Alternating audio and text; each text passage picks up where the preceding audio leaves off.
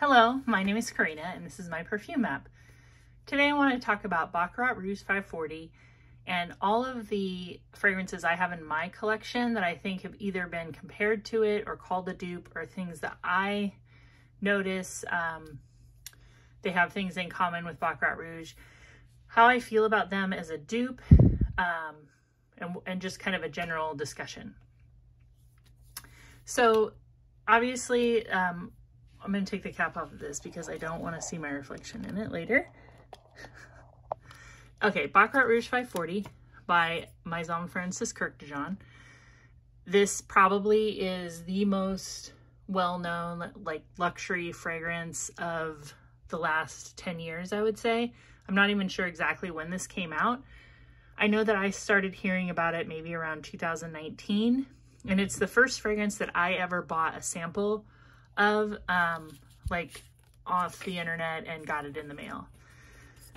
I just kept hearing over and over, it just seemed like this one set the standard for what is what is considered to be a luxurious fragrance that makes you smell absolutely amazing.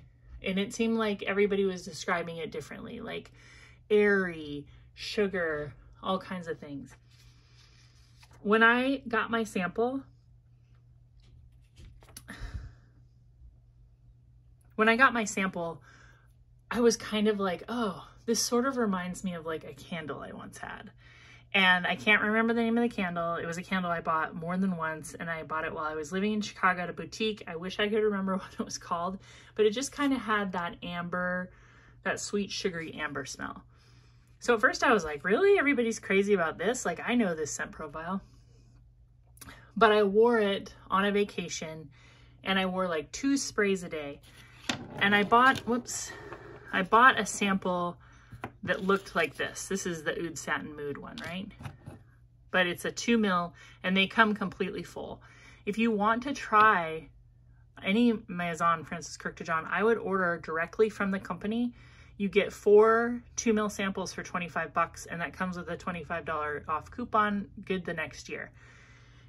And you might think like, I don't want to spend $25 on, you know, eight mils of fragrance. I think it's a good deal because you get to try the real deal. They ship it out really quickly. Like I said, it comes with a coupon and you'll know exactly what this really smells like because there's so many dupes out there and so many people are telling you this is an exact dupe. This is an exact dupe. Well, I think you should try for yourself. Anyway, I wore this fragrance and what I noticed about it right away is that it reminded me more of a um like a feeling like a uh like a lifestyle than it did a fragrance once I was wearing it out in the wild. And I'll tell you what I think of this fragrance. I think the Baccarat Rouge 540 smells like a very fine dining experience. And I have a like a perfect picture in my mind of this restaurant. This restaurant has kind of a rustic look. There's a lot of like exposed beam work.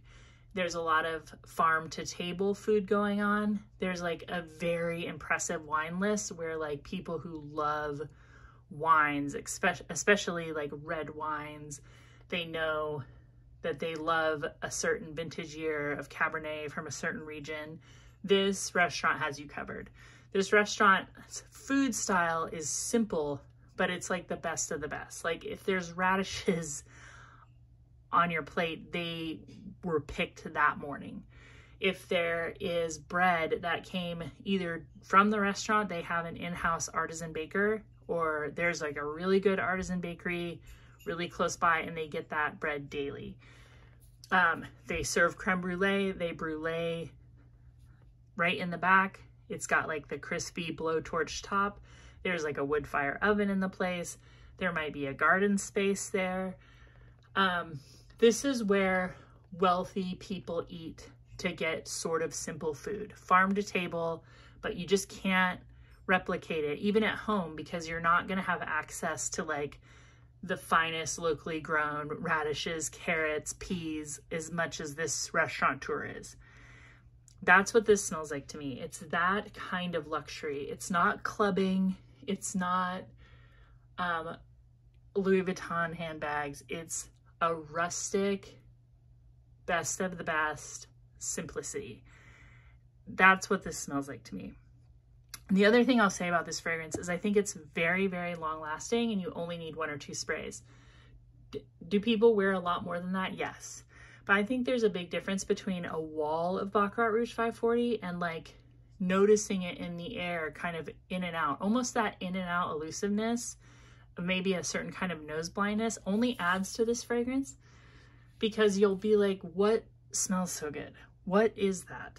This isn't the kind of fragrance that you're definitely going to say that's somebody's perfume unless they like bathe themselves in it and some people do.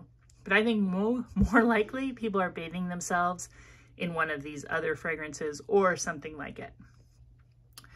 So I sprayed some on paper here. And yeah, it's like a very sweet jasmine amber with a very particular woody note that smells like real wood that has that is burning but it's not like a like a harsh burning smell. It's like maybe it burned and now there is like a leftover charred smell but it's not it's not like going up your nose. It's not making you want to move away from the fire. It's a very cozy burnt wood smell. Now in their little booklet they describe it like this. Luminous and sophisticated. Baccarat Rouge 540 lays on the skin like an amber floral and woody breeze. The aerial notes of jasmine and the radiance of saffron carry mineral facets of ambergris and cedarwood, a graphic and highly condensed signature. It's mostly a jasmine fragrance. People don't say that, but that is what it is. There is that saffron note, but that saffron just adds like a very earthiness to it. Some people will pick up on that right away, maybe because they weren't expecting it, and they'll say, this smells like Band-Aids, this smells like the dentist. Um, I think that that is that comes from being kind of shocked by a fragrance you haven't smelled before or if you were expecting to pick it up and smell burnt cotton candy, which I've heard people describe it like, and I would say there's no way. This is there's nothing about this fragrance that smells like going to the local um, carnival. Like, not at all. That's a whole different fragrance. That's a vape pen. That's Aquolina Pink Sugar, but it's not this. Okay, so the one that my story is I bought the sample and I just could not bite the bullet. I could not buy the smaller bottle that was like $300. So I started looking for dupes. And the first one that I picked up was Cloud by Ariana Grande because there was like fragrance reviewers basically saying that this is like so close to it that it's crazy. It's almost exactly the same and it's so much cheaper and get this. So I bought this and I still had my little sample, just a little bit left.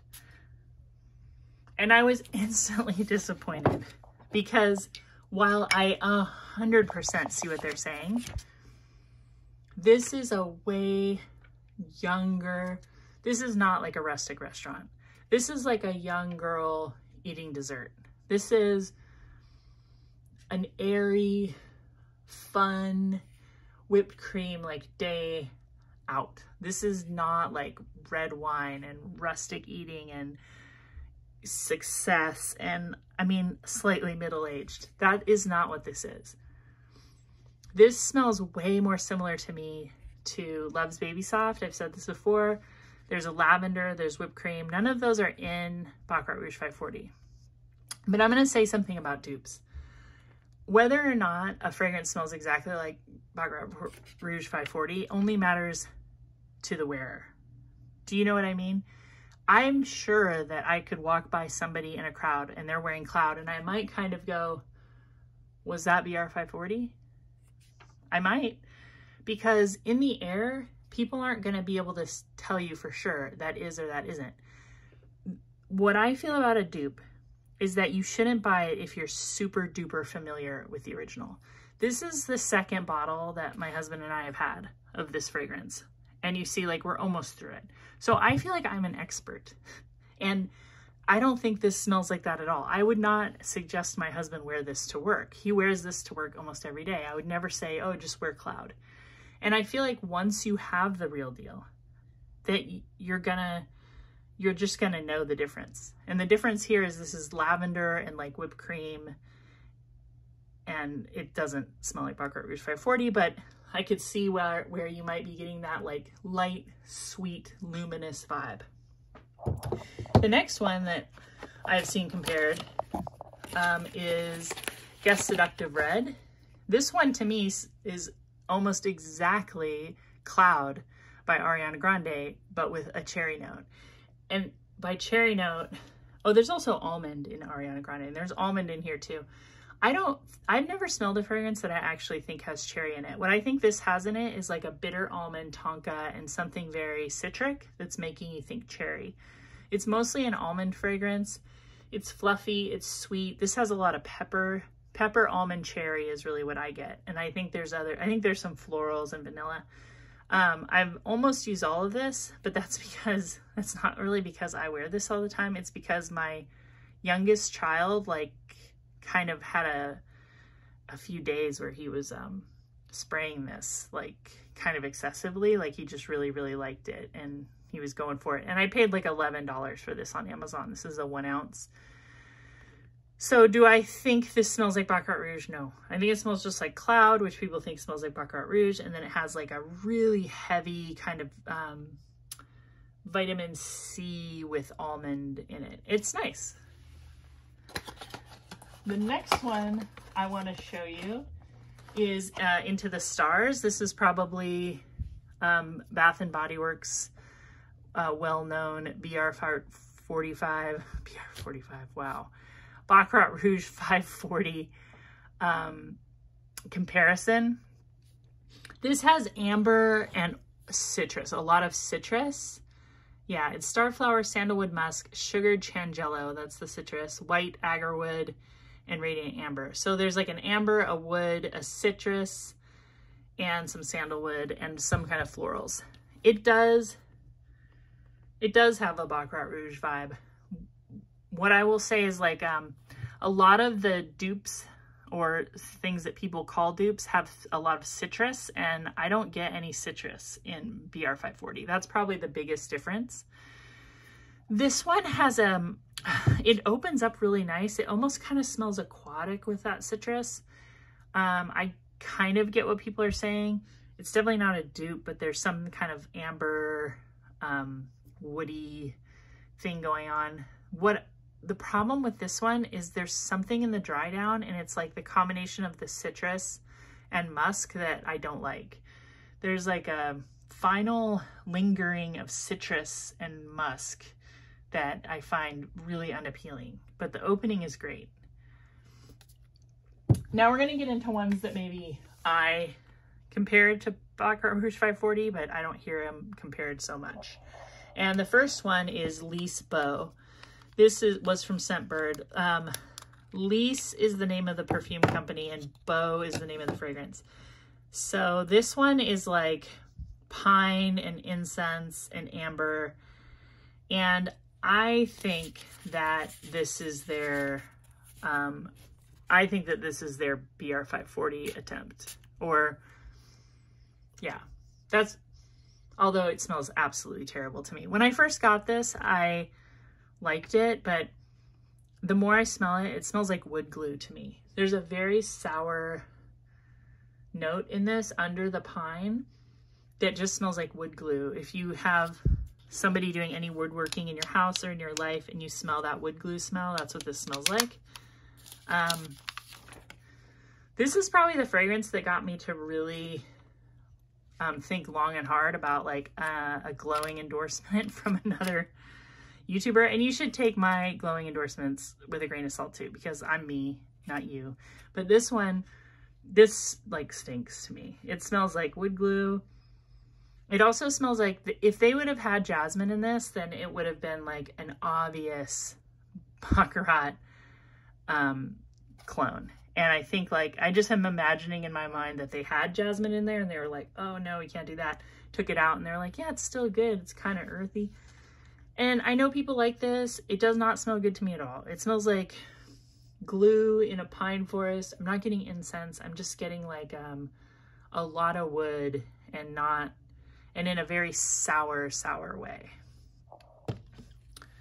I think Baccarat Rouge can have a sort of a sour note too, kind of a metallic sour thing going on. And again, I think that's, if you've ever just sniffed saffron in a jar, you might get some of that.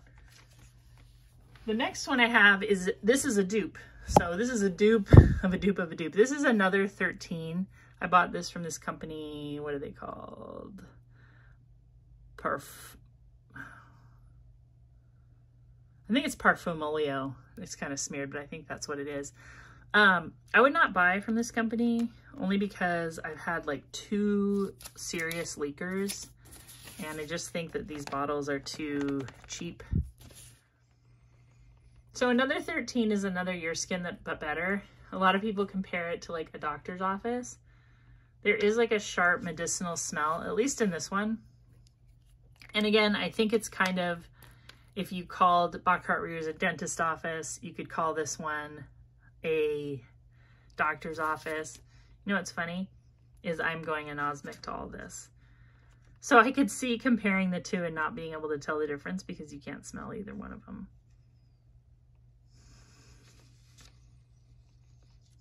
I need like some coffee beans. So I would like to smell another 13. A lot of people like it.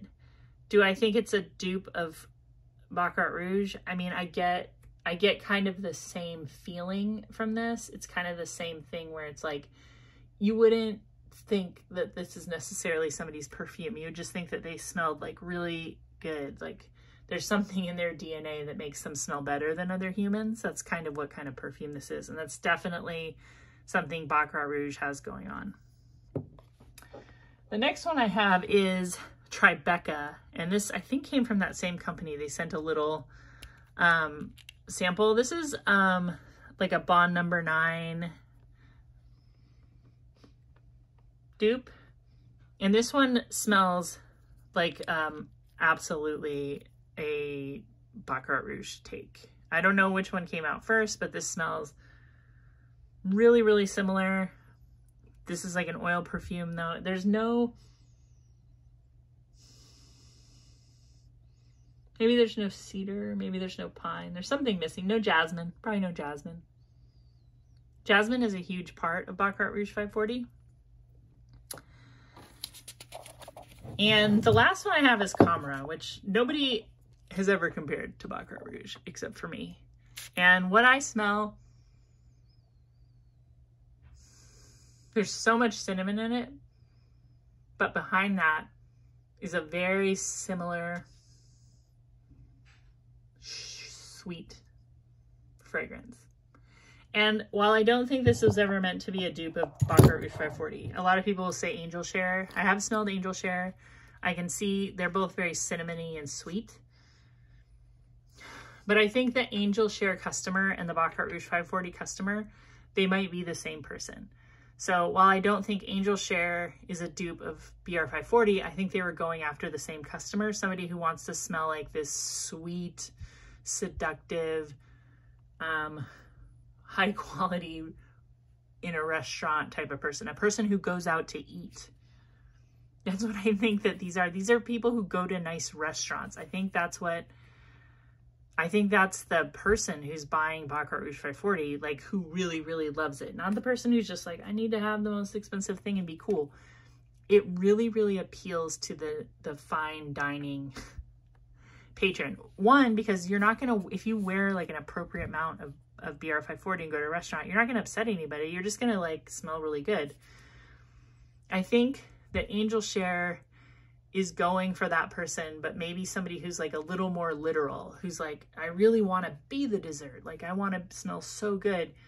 Um, like I've said before, I think Khamrah smells good, but I also think it has like a trashy vibe. Not that would stop me from wearing it, but like if I wanted to smell kind of trashy, I would wear this. I wouldn't wear this to a restaurant. In fact, when I go out to eat, I wear little to no fragrance because I think it's, um, I think it takes away from the restaurant experience because smelling is a form of tasting. It is. It sounds like a weird thing to say, but it's true.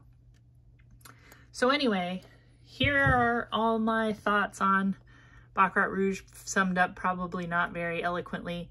But the main thing I want to get across is one, just get a real sample from my Maison Francis Kurkdjian. Like you can get Oud Satin Mood, Gentle Fluidity Gold, Baccarat Rouge 540, and maybe the Extrait or one other one for $25 and they will get it to you. Like I got it, I think I got it the next day when I ordered it. So I don't know why I got it that quickly, but I did.